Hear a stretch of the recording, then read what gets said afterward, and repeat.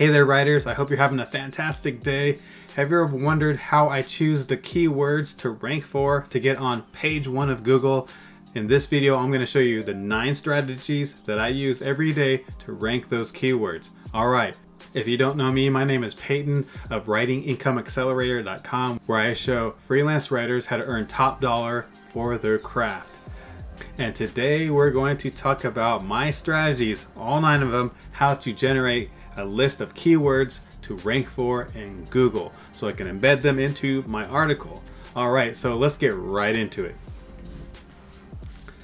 So this is the article right here that I ranked for in the top 10 of Google. You can see if you, if you Googled if you Googled it, it'll be like number nine or number 10.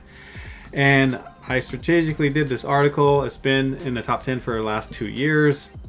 And when I wrote this article, I was thinking about how to rank.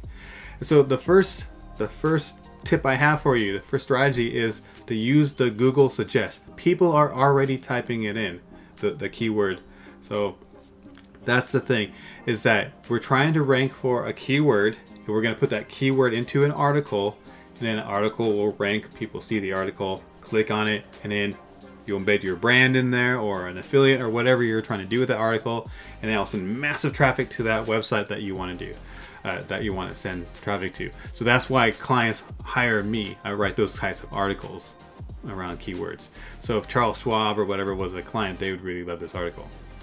So I use Google Suggest because this is what people are actually typing into Google. So they, they already want to know this. So Google is telling you what they're saying what they're typing. So swing trading you got uh, i'm looking for two to three uh, two to three word phrase. So two words or three words maximum.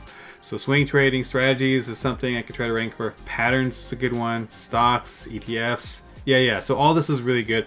So when i'm creating a list this i'll create a master list. I'll start writing some of these down that i want to do an, an analysis for later. I'll do an analysis on a, a a paid software program to see how competitive they are. But I'm creating this list, and at the end of all of this, I'll have like 20, 30, 40 keywords, okay? And I just narrow them down. So that is number one. Number two is Google SERPs, so search engine results page. So when you Google in that term, what comes up? What are the top 10? What are the top 10 uh, results? So that's what SERPs are, search engine results page. And so I'm looking at key, keyword ideas from that. I might read the article, I might read the highlights, but I'm looking at all those results. Well, here's my result, number 10. I'm writing down ideas on that list for keywords as well. Number three is I, I scroll to the very bottom of the SERPs and I look at searches related to. And so in this little box right here, in this little area right here, they are basically telling you what else people typed in to search for. So that that is Google pointing you in the right direction. People are, are already Googling these things just like Google suggests. Okay, they're related, so they're correlated. So it's different than suggest, but it's similar as well. Number four is the keyword finder tool. So if you go up here, you see in this box on the right, related keywords. That is from a plugin called Keywords Everywhere. Keywords Everywhere free Chrome extension.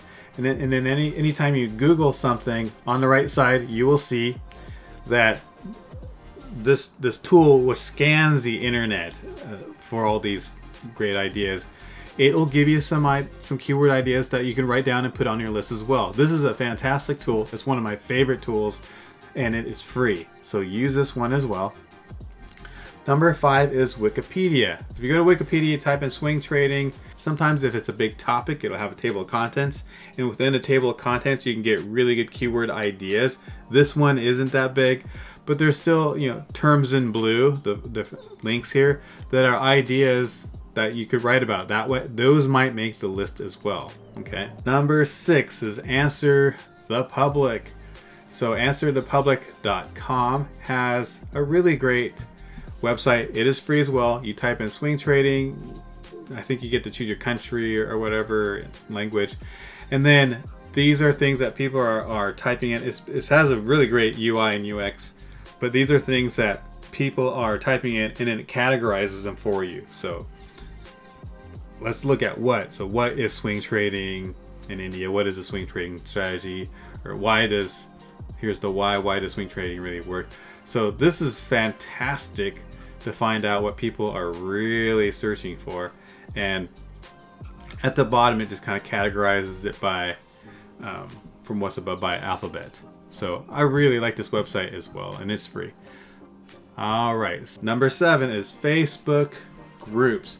So when I'm looking for keywords, I'm looking for the pains and frustrations that people have with that, that topic. And so I'm gonna go join a Facebook group, private or public, and find out what people are talking about the most and have a lot of problems around, frustrations around.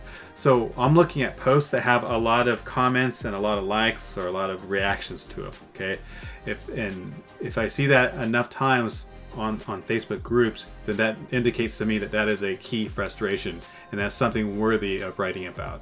So to find those groups, just go into Google and you put facebook.com and then your key term. So I put swing trading and then groups, and then a bunch of them will pop up and then you can join them. Number eight is reddit.com. So this is where people kind of go to, to gripe. And so since I'm trying to find a pain and frustration with this keyword and link it to a brand later through an article, Reddit is kind of the place to go. Now, you got to take everything with a grain of salt, but if there's a lot of conversations happening about, if there's a lot of conversations around a certain topic, it's something you should investigate, and one of those keywords can make your list. Number nine are the keyword software tools, the paid software. Uh, the number one tool out there is Ahrefs. If you got, if you can only get one SEO tool, Ahrefs is probably the one that people would choose because you can just do more than keyword research. You can do content, let's see, content exploration, site explorer, dashboard. You can analyze your website and it'll tell you the weak spots for SEO and then tells you how to fix them. Like this is a really great website. I look at it, I use it every day, but when you scroll down, it says keyword ideas by search volume. So you put in your keyword up here, and I'm using the, the keyword explorer tool put in your keyword, it tells you how competitive it is, the volume, 12,000 searches, and then right here, keyword ideas and search by volume, that kind of tells you all these different terms that people people are using, the questions, what else they rank for. So a lot of these terms will make that that list of 20 or 30 keywords that I'll narrow down to later. So this is a fantastic tool, but I gotta say one of the most accurate tools is by Mongools in this KW Finder, kwfinder.com. This is a, one that's paid for as well. It's like 30, 40, 50 bucks a month. But it is, I feel that it's a little bit more accurate in terms of keyword difficulty, meaning you can rank for a certain keyword. It'll give you a score. This is what it kind of looks like right here. If it's like this one, it says this 39 out of 100. It is possible to score, uh, to rank for this keyword. So if you wrote an article around this keyword, you know you could probably rank for it. If you put it on medium.com, it has a high domain authority, you probably rank for it. So I, I love this tool. So number nine is paid uh, keyword tools online. So that is it. Those are your nine strategies that I use all the time. If you like the content that I talked about today, please consider subscribing below, giving a little thumbs up, and make a comment. Let me know what you thought about it. Let me know what you want to hear about next because my job is to help freelance writers get paid top dollar for their craft, for their writing. My name is Peyton. If you want to learn more, go to writingincomeaccelerator.com where I talk about all these strategies and more. Thank you so much and have a fantastic day.